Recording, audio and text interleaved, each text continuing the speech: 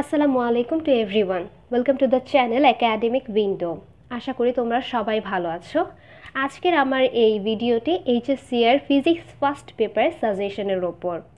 HSC পরীক্ষার আর মাত্র কিছুদিন বাকি। এই সময়ের ভিতর পুরো বইটা কয়েকবার শেষ করতে হবে।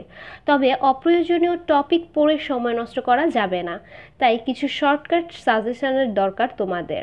তোমাদের জন্য তৈরি করেছি এই ফিজিক্স ফার্স্ট পেপার সাজেশন এটা বর্তমানে দেশের শীর্ষস্থানীয় কলেজের টিচারদের সাজেশন এবং টেস্ট এক্সামের কোয়েশ্চেন পেপার থেকে আমি মিলিয়ে এই সাজেশনটি তৈরি করেছি।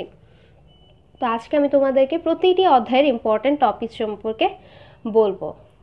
প্রথম অধ্যায়, ভৌত জগৎ ও পরিমাপ। এই অধ্যায় থেকে সিকিউ কোয়েশ্চেন হয় না, তবে এমসিকিউ এবং সংজ্ঞা এই কোয়েশ্চেন এই ফার্স্ট চ্যাপ্টার থেকে আসে। সো এখান থেকে ইম্পর্টেন্ট হচ্ছে এককের গুণিতক, উপগুণিতক, আয়তনের শতকরা ত্রুটি বিষয়ক অঙ্ক, বিভিন্ন রাশির মাত্রা, বিভিন্ন প্রকার ত্রুটির সংজ্ঞা।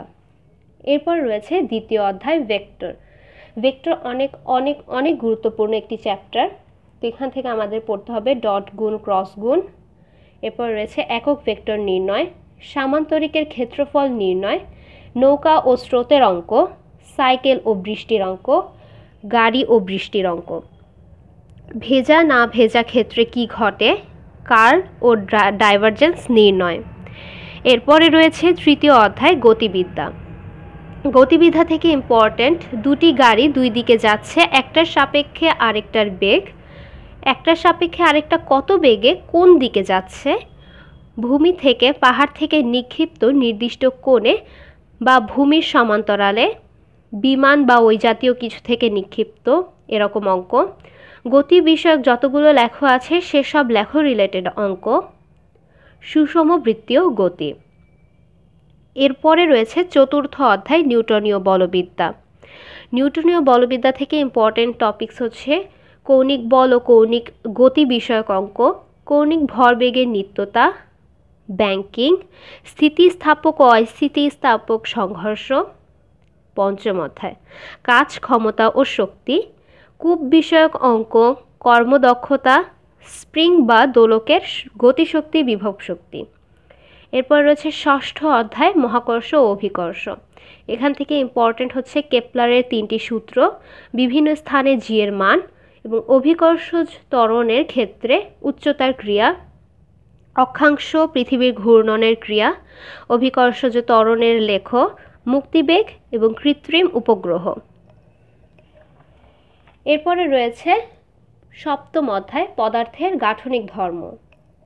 এখান থেকে সাধারণত ইয়ংয়ের গুণাঙ্ক, কুন্তন গুণাঙ্ক, আয়তন গুণাঙ্ক এবং পৃষ্ঠটানের অঙ্কই এসে থাকে। এরপরে রয়েছে অষ্টম অধ্যায়, পর্যায়বৃত্তিক গতি। সরল দোলন, গতির ব্যবকলনীয় সমীকরণ, সময় হারানো, সময় লাভ করা, পাহাড়ের উচ্চতা নির্ণয়। এরপর রয়েছে সরল দোলকের সাহায্যে অভিকর্ষজ ত্বরণ নির্ণয়। তারপর রয়েছে নবম অধ্যায় তরঙ্গ। এখান থেকে ইম্পর্টেন্ট অগ্রগামী তরঙ্গের ফাংশন দিয়ে যত অঙ্ক আছে সেগুলো, বিটের সাহায্যে দুইটি সুরশলাকার অঙ্ক, টানা তারের আর কম্পন বিষয়ক অঙ্ক, শব্দের তীব্রতা লেভেল সম্পর্কিত যাবতীয় অঙ্ক। দশম অধ্যায় আদর্শ গ্যাস ও গ্যাসের গতিতত্ত্ব। স্বাধীনতার মাত্রা গ্লেসারের উৎপাদক ব্যবহার করে শিশিরাঙ্ক নির্ণয় করে আপেক্ষিক আর্দ্রতার নির্ণয়, বুদবুদের সাহায্যে হ্রদের গভীরতা নির্ণয়।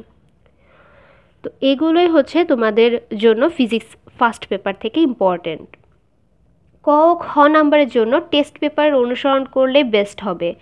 এগুলো শুধু টপিক্সের নাম বললাম, এইসব টপিক্সের অঙ্ক, টেস্ট পেপার এবং তোমাদের বইয়ের চ্যাপ্টারের শেষে যে ম্যাথগুলো দেওয়া আছে ওগুলো করলে ইনশাল্লাহ পরীক্ষায় তোমরা কমন পাবে। তো best of luck for your exam.